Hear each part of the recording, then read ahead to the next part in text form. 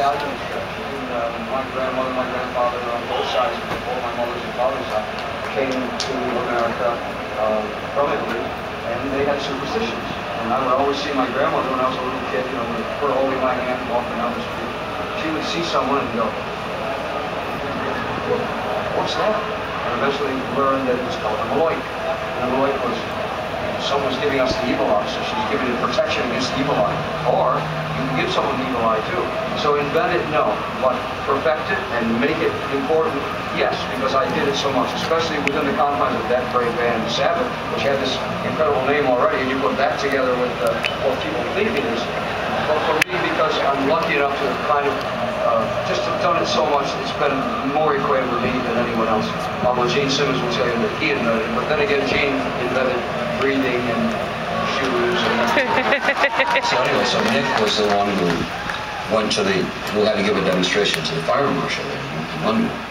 And so he didn't really know how much powder to put in, into the, in the, the charges. So he just, sort of- Supposed to be. oh, so he just poured as much as he It was supposed to be one spoonful and he put one cupful or something. And he also doesn't cook well. No. Yeah, so we filled it all up and, and everyone went, okay, everyone move away, and everyone moved away as they will, and, and someone made the, the cry, fire in the hole, and Nick hit the button, and he blew a hole right in the stage of Hammersmith Auditorium. And I saw him go And down. fell in. I, I saw him. So it was a hole and no Nick anymore. But to make matters even better, at that point, because you had a lot of IRA, IRA bombings going on, oh. someone thought it was an IRA, IRA thing, so the police turned up. Handcuffed. And they found Took Nick, off. took him off, arrested him for being an IRA bomb. He said, but, but I, but, and I think he turned up almost at the end of the show. They finally let him go The after. worst thing was you had, I think, four nights at Hammersmith to play.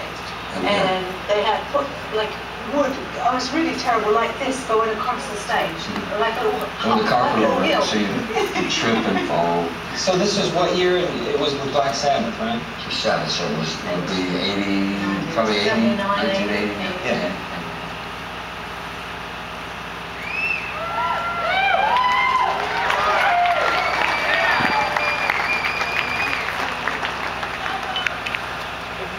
Welcome the man who blew up the stage that day. Hopefully he didn't put anything in this stage. Um,